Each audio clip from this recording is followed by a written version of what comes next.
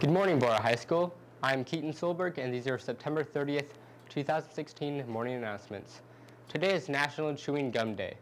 All students requesting Advanced Opportunities Fast Forward funds for fall dual credit courses must complete that request by today.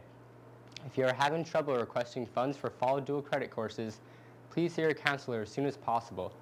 What did Greek muses, love stories, evil sisters, roller skating, dancing, and singing all have to do together? It's Xanadu Jr. Get ready to go back to the dawn of the 1980s and come see Borah High's very own musical, Xanadu Jr. Meet Sonny, Kira, and tons of other wacky characters as they go through the journey that is creating art in the 80s. The show is September 29th, 30th, and October 1st at 7 p.m. in the Borah Auditorium. There will also be a 2 p.m. matinee on October 1st.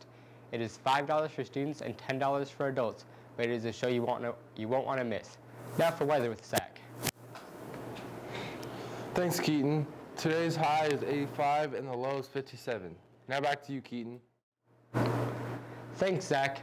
Do you love politics? Do you love history? Been fascinated by the upcoming election? Then come take a trip to our nation's capital of Washington, D.C.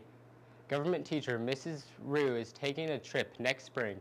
Any junior or senior interested in finding out more about this trip are encouraged to attend an information meeting Wednesday, October 12th in room 209. Bring your lunch and come find out more. Anyone who goes in a Pizza Pie Cafe October 3rd through the 6th and mentions Borah will be entered in to win a Dutch Bros gift card. Now for sports with Cade.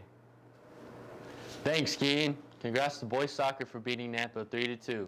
They improved to 9-3-2 on the season. Cross country will compete at Oxford Classic and at band at 12.